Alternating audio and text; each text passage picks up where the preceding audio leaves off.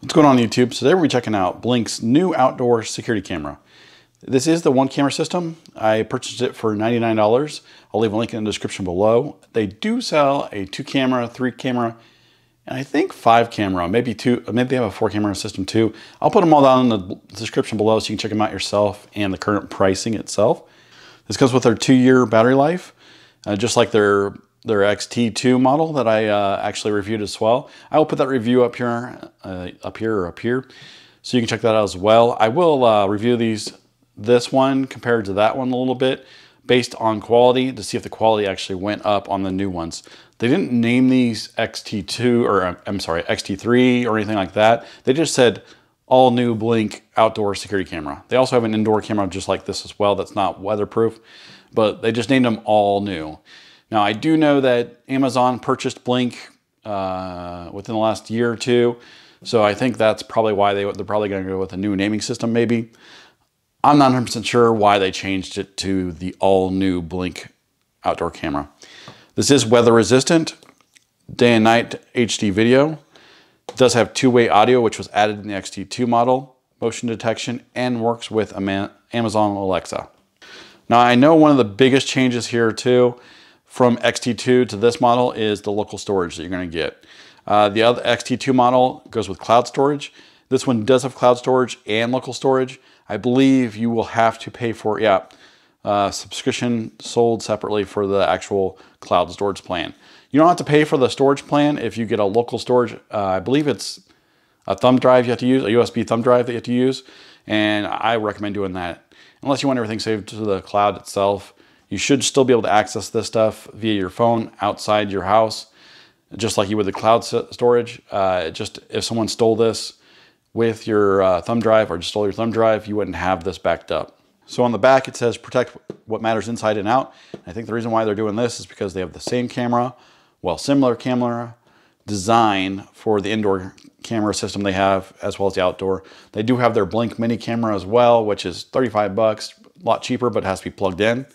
The indoor camera that they have that looks like this is also uh, battery operated. So let's go ahead and check and see what you get in the box. So at the very top, you have the quick start guide and it gives you a QR code to scan. So you have the Sync 2 or Sync Module 2 for the Blink and they changed it. Now it's got the white uh, border here and you got a light, an LED light for the Wi-Fi connection and the power connection. So this base actually is powered or is powered by uh, USB, but is also powered to your network via Wi-Fi. So you don't actually have to plug this base into the network using an ethernet cable. You can actually use Wi-Fi. Um, actually, you have to use Wi-Fi. And, and, it's the same as Blink XT2 and I think the previous Blink 1. Now, you do have the USB port here, like I said, for your thumb drive for internal data, as well as a reset pen here. And then you have the actual USB or micro USB for power. So they give you a USB-A power brick for the power of the actual module itself. They provide you the USB-A to micro USB for the power on the actual module itself too. Down here, here is another, looks like just more product information, help guide. You get two screws, and I think this is for the mount for the actual camera itself. And then you have the actual camera itself. This, like I said, it's very small. Um, very small camera, fits in the palm of my hand. And it's it'll be easy to hang and it's really light. On the back, you have the actual speaker itself here. Well, I think that's either a speaker or the microphone. And there's also what we think is a speaker or microphone. I think that's probably the speaker and the microphone might be on the back or vice versa. I'm gonna go ahead and assume that the speaker's on the front, or I mean, I'm sorry. Let's back up. I'm gonna go ahead and assume that the microphone's on the front and then the speaker's on the back. That way it's picking up what you're saying or what what's going on in front of the camera.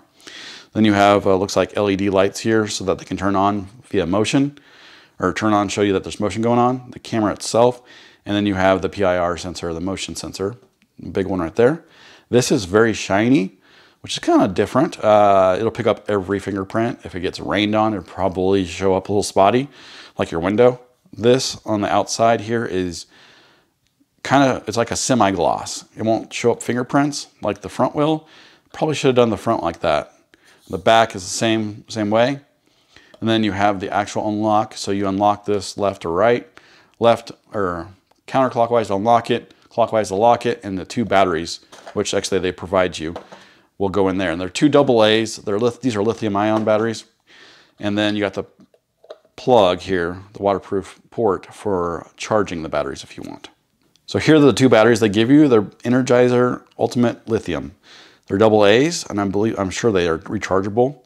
And I'm assuming that these are pretty good as far as uh, longevity and how long you can actually use this device, the camera itself, without recharging. Because they do tout that two-year um, battery life, like the length or the how long this camera should stay alive without recharging, which is a long time. I highly doubt it lasts ten, uh, two years Uh, on under normal use, but I'm going to go ahead and say it probably works fairly well for at least six to nine months.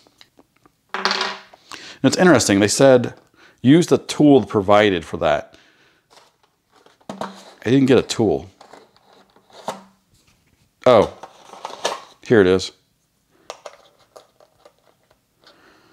So that doesn't go in there like that. So it's actually a screw right here that unscrews completely from that. And then we put the battery in, or the batteries in.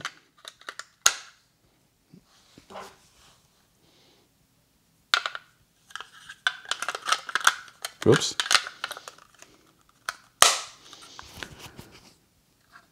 So now we're ready to go. And we can actually screw this back on. I recommend using a flat head. This is kind of a little bit convoluted.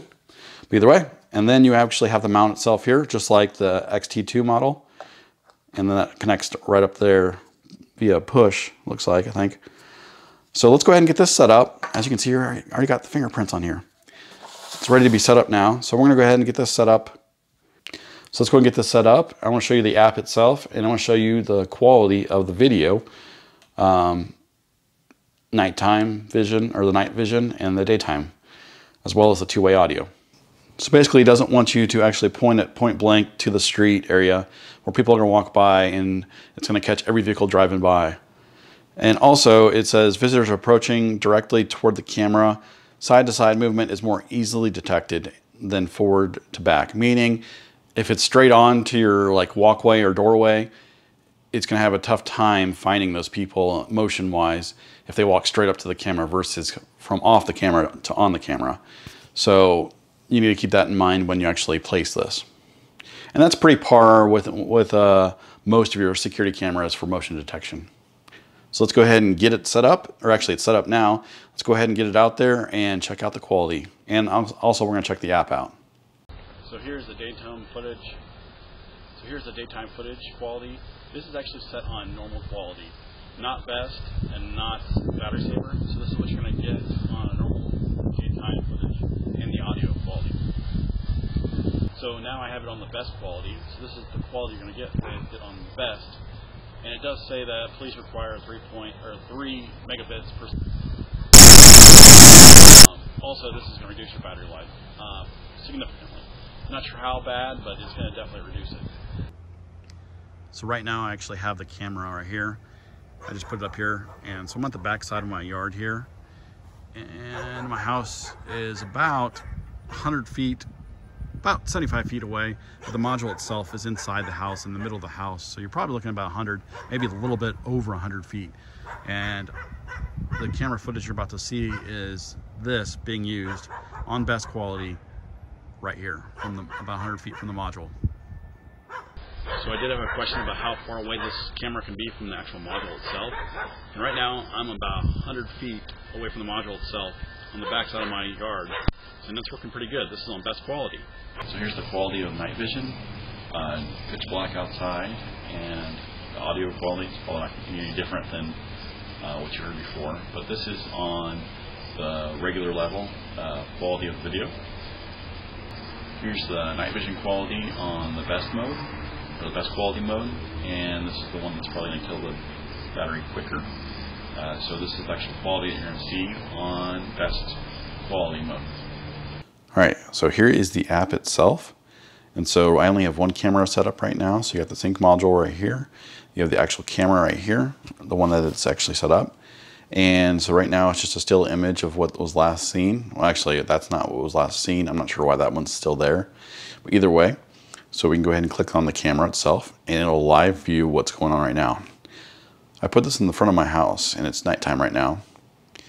So I can actually see what's going on. If something happens right now that I want to save, I can click save here and it'll save the video. Right now you're actually seeing a vehicle come up uh, on the, not the driveway, but on the street. So let's watch it go by here. There you go. And then also down here, we can hold this to talk if you wanted to and talk to the person. So right now it's telling me there's one video ready to go, and these are my these are the videos that I did for quality. Um, so you can you'll actually see these. You actually probably should already see this in the actual review right now. So I did all the quality on standard and best. So up here is all the different information about the camera itself. So one thing I dislike about what this camera system does, one thing I dislike is the monitoring of the battery. So it says okay. It doesn't give me a percentage. It doesn't give me anything other than okay. I'm not sure what the next one is where it says need charge, maybe I guess. I don't know. I don't get any percentage. I can't do anything with it. So I really, I don't know um, what's, I wish Amazon or Blink, the Blink team would change that to a percentage. It does tell me the temperature outside right now, so I can click on that and I can set up alerts uh, if I wanted to. So that way you can do an alert when it gets a certain temperature above or low. And I don't know why I did that. And then there's quite a few different uh, settings we can do here. Well, for one, and we enabled uh, motion detection. Right now, zones are beta, uh, in beta right now, but we can still enable zones. Retrigger time, meaning how many seconds between retrigger. So that way, if I walk out there and it detects my motion, at what time does it reset and look for motion again? Sensitivity, so you got low to high. Clip length, and I did 60 seconds, and then did end clip early if the motion stops. So that way I can at least make sure I get all the motion going on. Early notification, which is a beta function too as well. And I think it just pre-records real quick. Uh, motion recording, which actually is set on, which is weird because motion detection is enabled. Maybe motion detection for the alert, and then we have it set to record. That's probably what it is.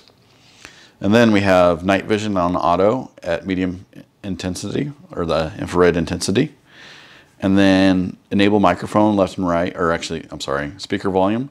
So we have that enabled. And then also down here is the quality. And so you can go from saver, standard to best. Right now it's on standard. Obviously standard is going to be standard, uh, like the normal range that they want you to have it at. Saver is if you have a lot of alerts, I would put it on that. And best is going to get you the best quality on video. And then they have status LED. So remember the LEDs I was talking about on the actual camera itself? it will show up blue. There's a blue LED on there when it's recording. So you can turn that off right here. And then also it shows when the last update was, what firmware you're on, as well as um, camera connected to Wi-Fi and the sync module connected to Wi-Fi. So other than that, like right now we're disarmed. All we need to do is go click on armed. If I click on armed, that means it arms the motion detection. So right now, if I walk by the camera, nothing will happen and I can still live view it, but nothing will actually happen. If I click armed and I walk by it, it will trigger, send me a notification on my phone and say motion detected and then start recording as well. So there you have it with the all new Blink outdoor camera. Um, there is some updates on it. It seems like a lot of it's pretty much the same as the XT2 model. And one thing I really, really like about the new update on this is the video quality. If you haven't seen my video review on the XT2, like I said, I'll link it down in the description below and I'll put it up here so you can check it out yourself. But the quality of the video that it records on this one versus the XT2, this one kills it out of the water. Now, I will say on the XT2, I only did uh, sample footage of standard. On this one, I decided to change that up and do standard as well as um, best because I do know that people did complain on my other video that like this is look this quality looks like crap. Um, and it does have the capability to get a better quality. So, and I didn't want to like, I didn't want to mess that up on this one. I didn't want to show that it was on standard only, and I, I just wanted to make sure that we got the best quality out there for this camera, so that way you can see what it can actually, it is capable of recording. Like I said, on best, what's going to happen is it's going to kill your battery quicker, but that's up to you. They give you those options to, to use. Use them at whatever you want to use them at, and that, that choice is yours. If you have any questions, comments, or opinions about this, go ahead and put in the comment section below. I'd love to hear from you. If this is your first time, please consider subscribing, and I will see you next time.